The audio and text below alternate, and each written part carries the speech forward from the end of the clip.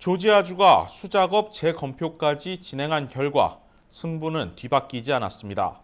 공화당 소속 주지사도 오늘 바이든 후보의 승리를 공식 선언했는데요. 여기에 더해 트럼프 캠프가 경합주에 제기한 소송들마저 줄줄이 기각되며 사실상 승패가 뒤바뀌긴 어려운 상황입니다. 이채은 기자입니다.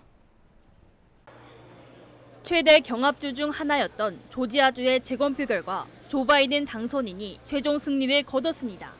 조지아주 당국은 500만 표를 모두 수작업으로 재검표한 결과 바이든 당선인이 12,275표 차이로 승리했다고 발표했습니다. As Secretary of State, I believe that the numbers that we have presented today are correct. 앞선 대선 투표 개표 당시보다 1,700여 표가 줄어들었지만 승패는 바뀌지 않았습니다. 결국 바이든 당선인은 조지아주에서 승리를 확정지으며 선거인단 16명의 확보가 확실시됐습니다. 이로써 바이든 당선인이 확보한 선거인단은 모두 306명. 트럼프 대통령은 선거인단 232명을 얻는 데 그쳐 바이든 당선인이 대선 승리를 확정지었습니다. 이러한 가운데 트럼프 대통령은 여전히 대선 불복 입장을 고수하고 있습니다.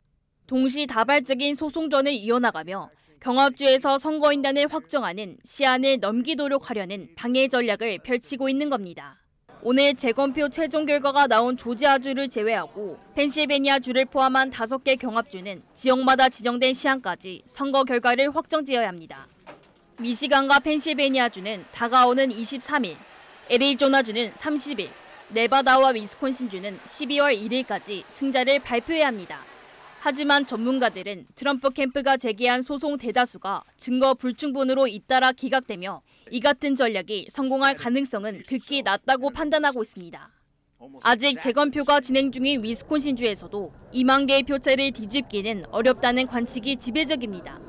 트럼프 캠프의 불복 소송이 잇따라 기각되고 있는 가운데 오늘 조지아주 재검표에서도 바이든 당선인의 승리가 확정된 상황.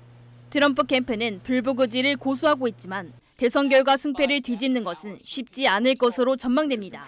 KBS 뉴스 이채은입니다.